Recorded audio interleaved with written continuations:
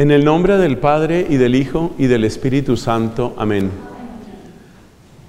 Dios te salve María, llena eres de gracia, el Señor es contigo. Bendita tú eres entre todas las mujeres y bendito es el fruto de tu vientre Jesús. Santa María, Madre de Dios, ruega por nosotros pecadores, ahora y en la hora de nuestra muerte. Amén. En el nombre del Padre y del Hijo y del Espíritu Santo. Amén. Día feliz. Este es un día feliz para mí y espero que para todos ustedes, porque estamos dando los primeros pasos para concretar nuestra escuela de predicadores en familia espiritual.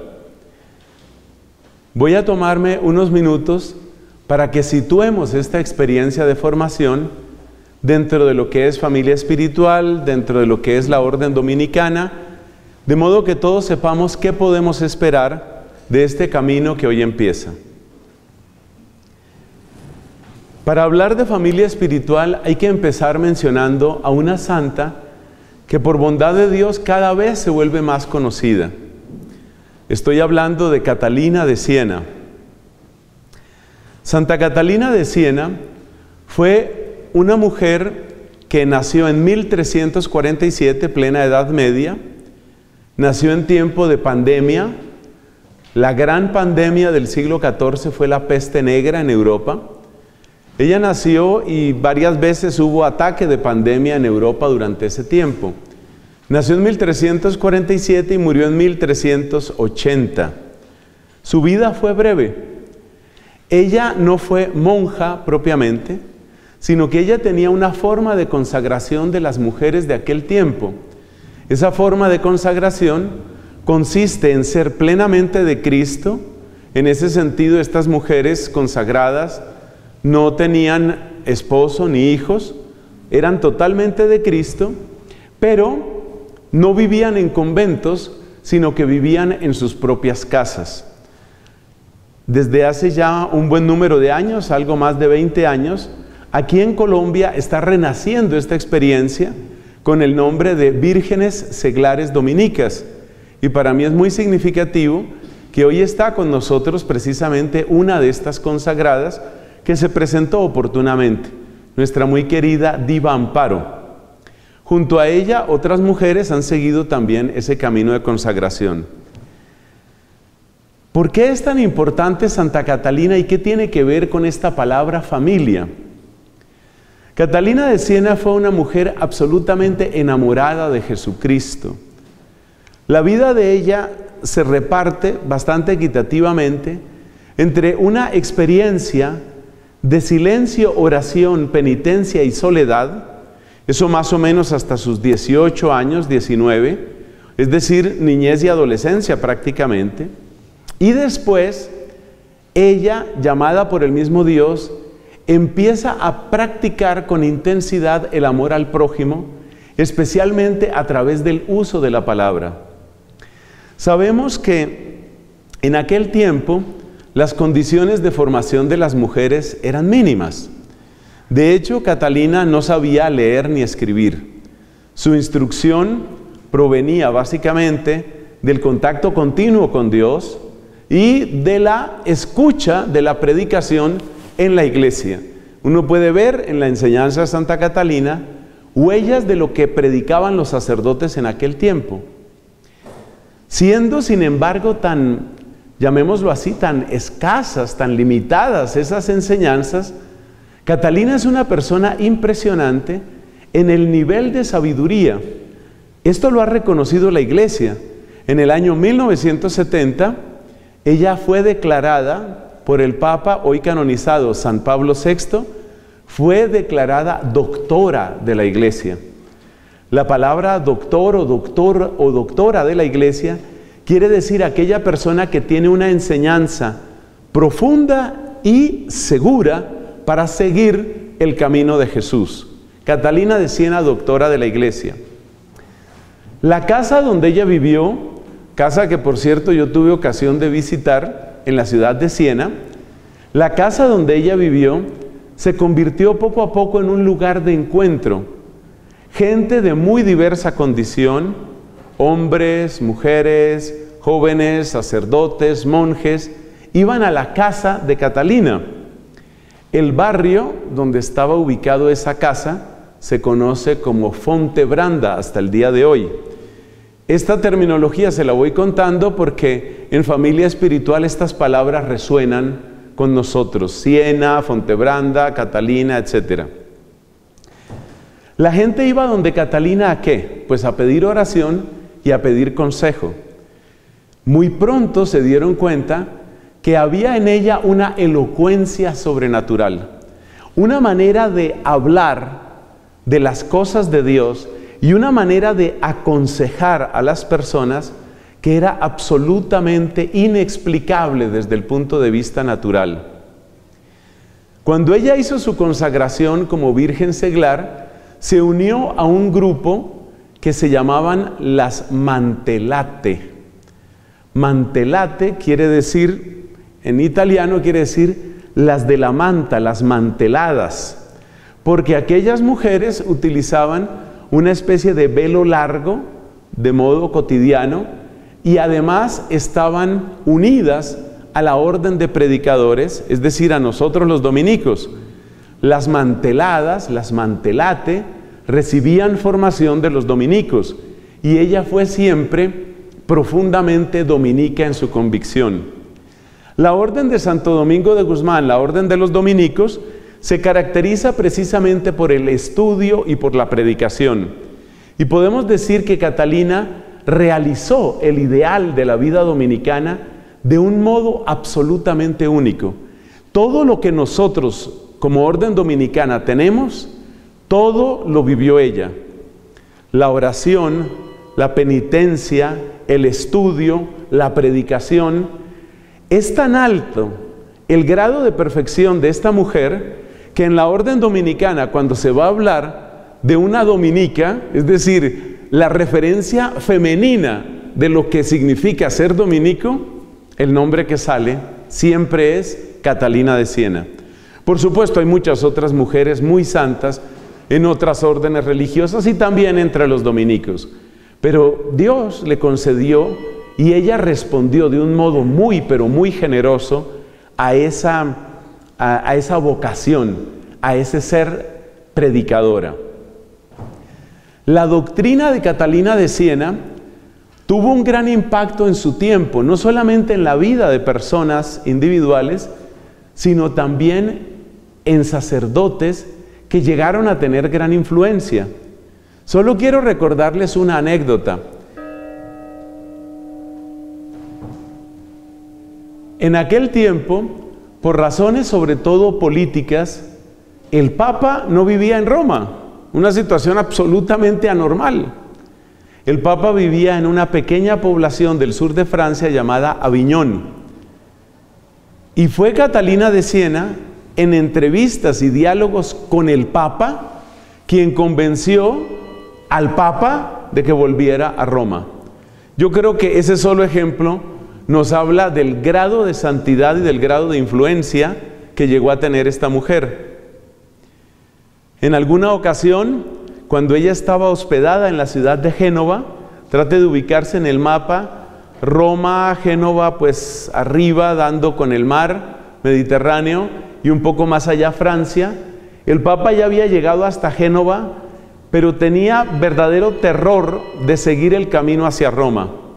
Sabiendo que Catalina estaba en esa ciudad, fue el Papa a la casa donde ella estaba hospedada a pedirle oración y consejo. Su correspondencia, que se conserva en abundancia, incluye cardenales, obispos, abades, etc. Para mí eh, es indudablemente una persona que muestra lo que puede el Espíritu Santo en una mujer. Eh, y sobre todo en estos tiempos en que a veces se quiere presentar como una especie de feminismo que casi siempre trata de masculinizar a la mujer, encontrarme con una mujer como Catalina de Siena ha sido definitivo. Yo me encontré con Catalina en el año 1985, cuando yo hice mi propio noviciado. Ahí conocí de ella. Leí un par de biografías y la obra principal de ella que se llama El Diálogo. No les doy más datos por ahora. Si ustedes miran, por ejemplo, en mi canal de YouTube, se encuentran biografía de Santa Catalina, estudios sobre Santa Catalina, estudios sobre el diálogo. Desde hace varios años con las queridas vírgenes seglares estamos precisamente estudiando el diálogo de Santa Catalina con bastante detalle porque pues si es doctora de la iglesia quiere decir que tiene mucho para enseñarnos. Bueno, ¿y qué tiene que ver esto con familia? Ya he dicho antes que la casa de ella, pero luego ella misma se convirtió en un lugar de reunión.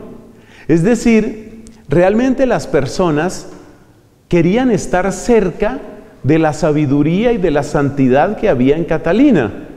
Y empezaron algunos a llamarla una madre espiritual.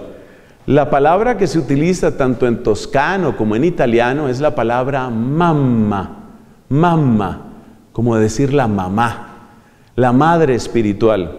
La gente se burlaba de este grupito, los llamaban los encatalinados. Como quien dice, ya tú caíste pues bajo el hechizo de Catalina, ya eres, un encatalinado. La verdad es que estos encatalinados, que formaban como esa especie de familia, una familia que llegó a tener en su máxima expresión como unas 30 personas, les repito, entre monjes, laicos, mujeres casadas, jovencitas. La verdad es que esa familia tuvo un impacto muy grande en la iglesia. En el año 1378, se presentó una división en la Iglesia Católica. Nuestra Iglesia Católica ha pasado por épocas muy complejas. Y en el año 1378 hubo una división, hubo dos papas, precisamente por el problema de Aviñón. Un papa en Aviñón, otro papa en Roma. Catalina murió en 1380. Cuando ella se murió, ofreciendo entre otras cosas su vida por, por el dolor que tenía con esto de la iglesia, esa herida no se había sanado. Seguía habiendo dos papas, uno en Aviñón y otro en Roma. Y así siguieron las cosas durante cerca de 40 años. Pero si tú miras en la historia de la iglesia, ¿qué personas ayudaron a sanar esa herida? Ahí entran discípulos de Catalina. Por ejemplo, el que fue director espiritual y confesor de ella, el padre Raimundo de Capua, el padre Raimundo de Capua, que es beato, el beato Raimundo de Capua, logró mantener unida nuestra orden dominicana en esos tiempos tan difíciles. Habiendo dos papas, el beato Raimundo logró mantener la unidad de la orden dominicana, que fue uno de los pilares en la restauración de la unidad de toda la iglesia. Este es otro motivo por el que le tengo tanto afecto y tanta deuda a Catalina de Siena, porque soy consciente de que es una mujer que no le tocó nada fácil. De hecho, los problemas que ella tuvo que enfrentar en su familia, los ataques de la peste negra, o sea, las pandemias que hubo en ese tiempo, las guerras intentaron matarla en la ciudad de Florencia, sobre eso ah, este año tuve una predicación exactamente sobre eso, cómo se planeó el atentado, querían matarla. Y luego la reacción de ella cuando no la matan, se pone a llorar. Se pone a llorar y le dice a Cristo que por qué no fue digna de ser mártir. Esas son las cosas que tienen los santos. Bueno, esta familia, esta experiencia de familia de Catalina de Siena tuvo pues un gran impacto dentro de la iglesia. Como yo tuve este conocimiento, no soy el único, hoy hay mucha gente que conoce a Catalina, que la quiere, en la Universidad Santo Tomás de Medellín desde hace unos años, serán unos tres años o cosa parecida, iniciaron una escuela de teología que se llama Santa Catalina de Siena. En este convento, además de las vírgenes seglares que vienen con frecuencia aquí, en este convento se reúne también una fraternidad dominicana que adivine cómo se llama, de Santa Catalina de Siena.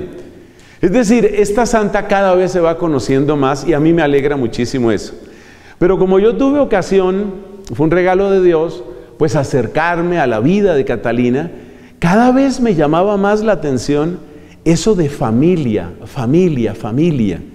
Esa palabra que la utilizaban en esa época, no me la invento yo, porque además la llamaban a ella la mamá, esa familia, esa palabra me impactó mucho. Y yo decía, eso es algo que nosotros necesitamos. Y lo necesitamos por tres razones. Mire, necesitamos familia en primer lugar porque las familias están muy rotas. Las familias están muy rotas, hay muchas separaciones, hay mucha división entre padres e hijos.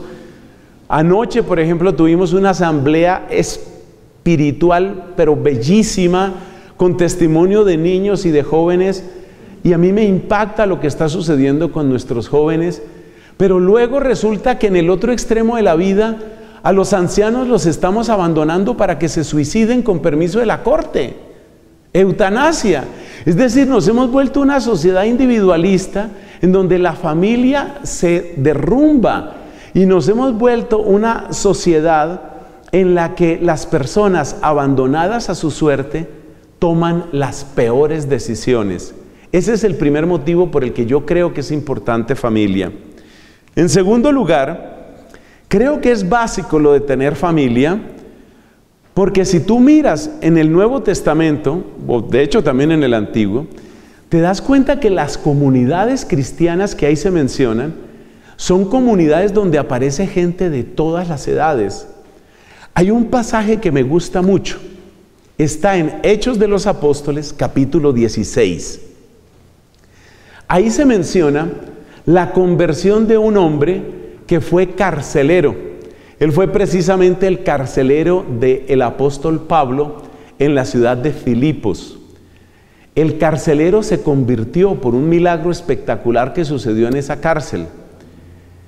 Y nos dice el texto que cuando él se convirtió, pues invitó a Pablo a esa hora de la madrugada, porque esto sucedió a medianoche, a esa hora de la madrugada llevó a Pablo a su casa, a su familia y se bautizó toda la familia. A mí eso me impacta. De hecho, cuando el carcelero le pregunta a Pablo, ¿qué tengo, qué tengo que hacer? Que es una pregunta que resuena varias veces en la Biblia. ¿Qué tengo que hacer? Pablo le dice, cree en el Señor Jesús y te salvarás tú y tu familia. Es decir, definitivamente la Biblia piensa en términos de familia.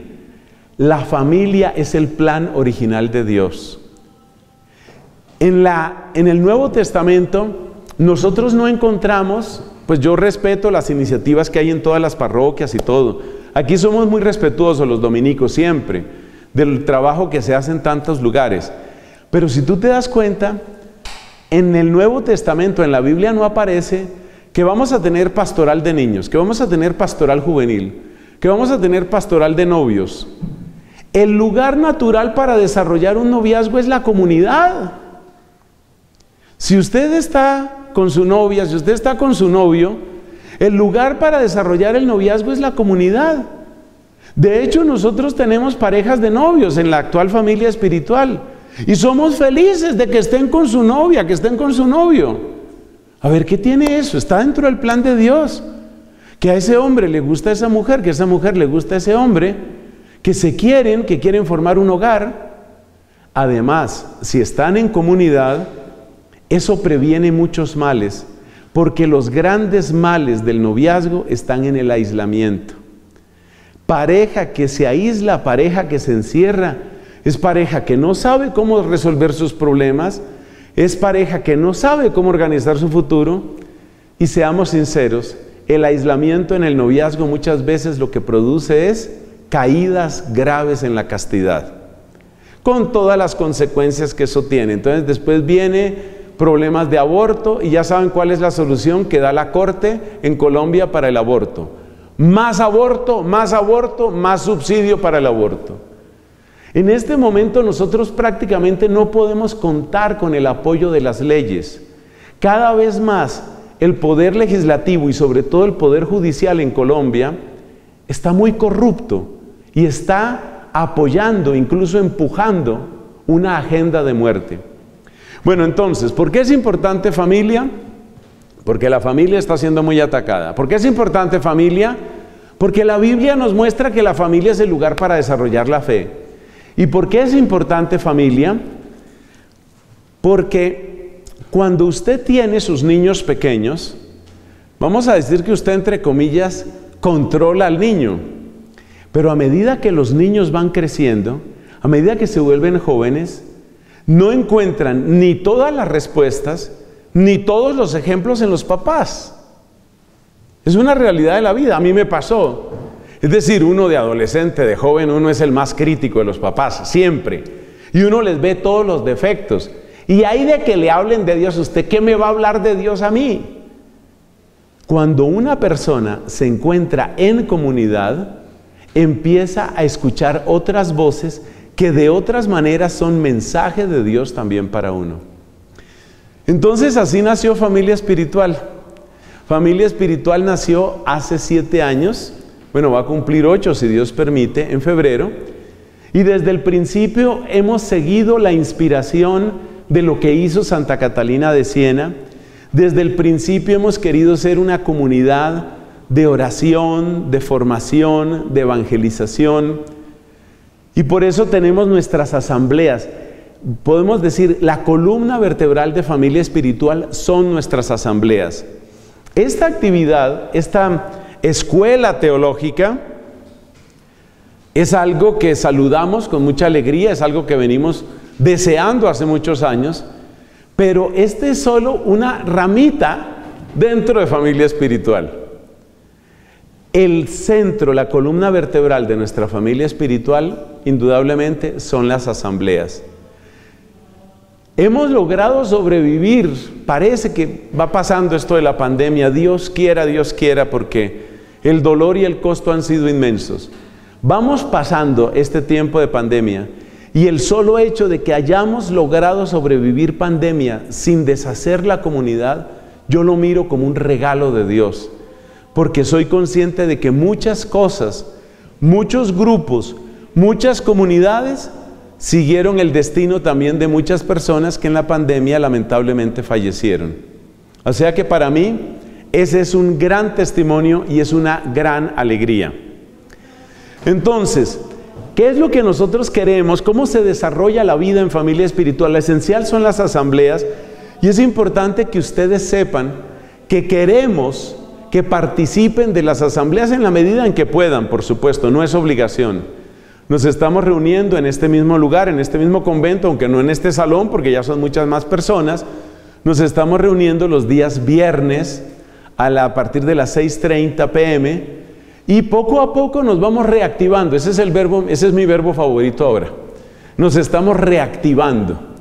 Todavía no estamos como estábamos antes de la pandemia, pero nos vamos reactivando.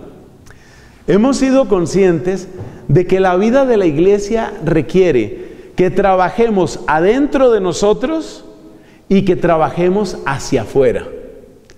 Trabajo adentro y trabajo hacia afuera. Siguiendo en eso un consejo que le dio el apóstol San Pablo a su discípulo Timoteo. Le dijo, cuídate tú y cuida lo que enseñas. Es decir, hay que trabajar hacia adentro, pero también hay que trabajar hacia afuera. Y por eso nosotros tenemos en familia espiritual lo que llamamos ministerios. Son en total 12. Tenemos seis ministerios que son hacia adentro y tenemos ministerios que son hacia afuera. Dentro de esos ministerios de servicio hacia afuera, uno se llama fundamentos de evangelización.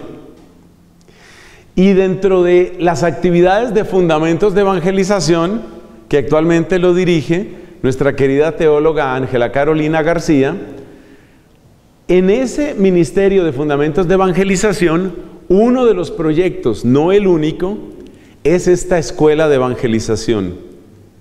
Ahí tenemos una ubicación. Todo esto es para contarles en dónde estamos, de dónde surge esto, por qué ha nacido. Pero le voy a contar algo más. El propósito de la escuela de evangelización en el fondo, ¿cuál es?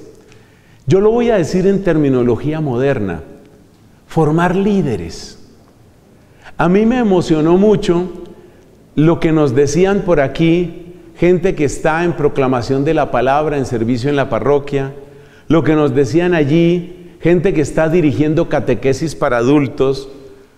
Nuestro docente, uno de los docentes en este programa piloto, que va a cubrir el mes de noviembre, es nuestro querido Roberto Buitrago, Roberto Buitrago tiene una experiencia, ¿cuántos años serán de servicio de catequista, Roberto? tiene 20 años de servicio de evangelización. Es decir, son personas que realmente se han entregado a esto, que lo han tomado en serio y que tienen el gozo en este momento porque lo viven con alegría, el gozo de compartir también su fe. Ese es el propósito de esta escuela de evangelización. ¿Para qué? Para formar líderes. Es decir, para que se pueda compartir la fe con otras personas. Hace poco, un líder católico al que aprecio mucho, perteneciente a este grupo musical que se llama o se llamaba Son by Four, que seguramente ustedes han escuchado. Este hombre se llama Pedro Quilmes y él decía en una entrevista que le hicieron y que se difundió internacionalmente, él decía, necesitamos líderes católicos, necesitamos predicadores católicos. Me gustó mucho esto que nos dijo Camilo, te voy a citar así tal cual. Esto que nos dijo Camilo, yo quiero aprender a dar razón de mi fe. En la primera carta de San Pedro está esa frase, aprendamos a dar razón de nuestra fe. Mire que uno pierde muchas cosas por pura ignorancia.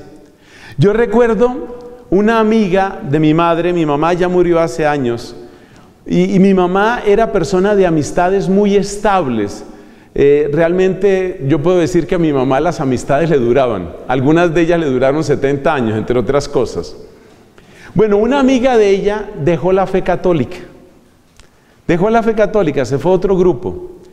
Lo importante aquí no es a dónde se fue, sino que me llamó la atención lo que le dijo mi mamá a esta amiga, queriéndola como mi mamá quería a sus amigas. Le dijo, pero es que tú ni siquiera conociste la iglesia que estás dejando. Oiga esa frase. No conociste lo que estás dejando. Y por eso a veces es tan fácil para muchas personas apartarse de la fe católica. Miren, la medida en que uno va conociendo, por ejemplo, en este programa piloto, pues va a haber dos estudios. El estudio del Padre Nuestro y el estudio de qué es un poco la teología. ¿Qué es la teología? Bueno, ese, e, e, ese simple estudio, bueno, yo lo llamo simple porque va a ser corto, pero estoy seguro que va a tener mucho contenido. Ese estudio ya te hace mirar de otra manera el Padre Nuestro. ¿Cuánta gente le he oído yo decir, por ejemplo, refiriéndose al Santo Rosario, a cuánta gente le he oído yo decir, no, esa repetidera, repetidera, ¿sabes tú lo que hay en el Padre nuestro? No, yo no sé, mi abuelita reza y reza y ¿Sabes lo que hay en el Padre nuestro? No, no, yo no sé. Por eso abandonamos, porque no conocemos. Hay una palabra que es famosa, en la Sagrada Escritura y se la voy a dejar de tarea, es muy fácil de encontrar en el celular. Mi pueblo perece por falta de conocimiento. Esa frase es famosa. Mi pueblo perece por falta de conocimiento. Si quiere, búsquela ahí sin que le vaya a sonar el celular y, y damos aquí la cita exacta. Entonces, eso, eso, le está pasando a mucho católico. Mucho católico no sabe lo que hay en el Padre Nuestro. Mucho católico no conoce su fe. Entonces, ¿para qué una escuela de evangelización? ¿Cuál es el propósito de una escuela de evangelización? En primer lugar, lo que nos dijo Camilo, poder dar razón de mi fe. Porque es muy triste que uno diga solamente, no, pues yo soy católico porque, pues no sé, a mí me bautizaron católico y pues creo que voy a ser católico. A ver, es un tesoro lo que ya tienes.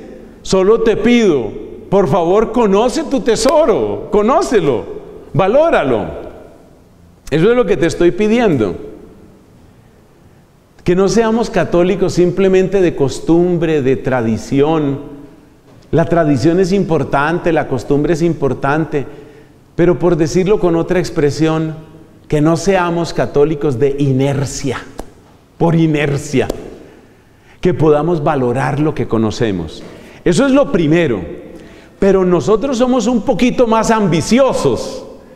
Nosotros queremos aprender a transmitir la fe.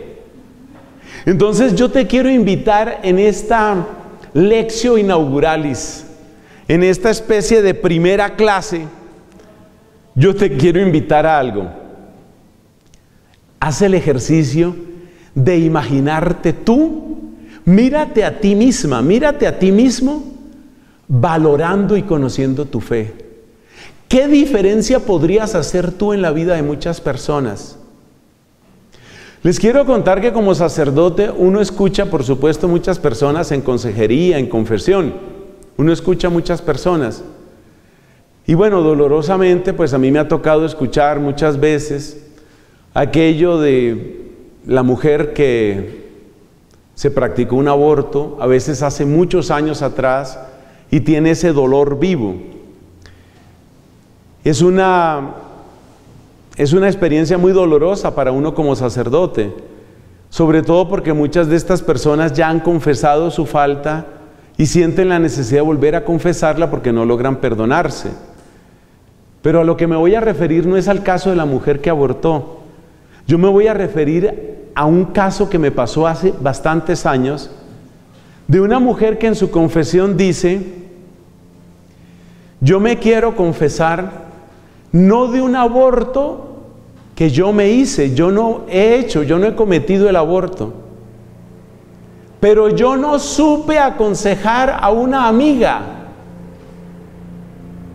¿Qué fue lo que le sucedió? Resumiendo, que una amiga de ella llega toda angustiada con la noticia de que está embarazada, no sabe qué hacer, ve en peligro la relación con el novio, ve mal la relación con los papás, siente que se dañó la vida, se dañó la carrera, se dañó todo.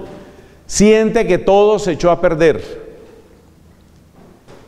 Bueno, esta amiga llega con esa angustia y la otra, la otra amiga, no supo aconsejarla. No supo decirle cuánto valía esa vida. No supo ser en ese momento soporte. Y cuando ya se cometió el aborto y cuando ya ella vio lo destrozada que quedó su amiga, la que no supo aconsejar, ella se dio cuenta, como decimos popularmente en Colombia, la embarré. Yo hubiera podido hacer algo. Es un caso extremo el que estoy dando, ese es un caso extremo, pero es para que nos demos cuenta lo que sucede cuando uno no conoce su fe. Entonces nuestro gran propósito en esto que está empezando, yo quiero ser muy humilde aquí. Lo que está empezando, esta prueba piloto, con ese par de valientes que se llaman Roberto Buitrago y Ángela Carolina García, lo que está empezando es una semilla. Nosotros lo hemos llamado, ese fue el término que utilizó Carolina, lo hemos llamado prueba piloto. Sí, es un comienzo, es un comienzo. Tenemos que aprender todavía mucho, pero lo que queremos sacar, aprendiendo de esta prueba piloto, ya es un programa mucho más consolidado. Son dos años, ¿no, Carolina? El, programa que ya está bastante armado. El programa, esto es apenas una prueba piloto es apenas un mes. Pero luego lo que queremos sacar es un programa de dos años que realmente le dé la vuelta a los principales temas de la fe católica. Es decir, que usted tenga Biblia, que usted tenga Cristología, que usted tenga neumatología, que usted tenga historia de la iglesia, que usted tenga moral, que usted tenga esos elementos para que usted en los ratos que puede darle, porque seamos realistas, todos tenemos limitaciones, uno no tiene un tiempo infinito. Pero cuando ya saquemos, que eso será el año entrante, Dios ha de permitirlo, cuando ya saquemos el programa de dos años, la idea es que usted le invierte dos años a este asunto y usted queda con una formación bastante sólida de su fe católica y usted queda también con una capacidad mayor de servir a otras personas. A veces será servicio persona a persona, a veces será servicio dirigiendo la catequesis en una parroquia, coordinando grupos, ayudando comunidades. Esa es la proyección que queremos que tenga familia espiritual a través de este ministerio, Fundamentos de Evangelización. Ese es el motivo del trabajo que estamos haciendo. Ese es el sueño compartido que tenemos y del cual ustedes son parte. De nuevo, gracias por estar aquí. Gloria al Padre y al Hijo y al Espíritu Santo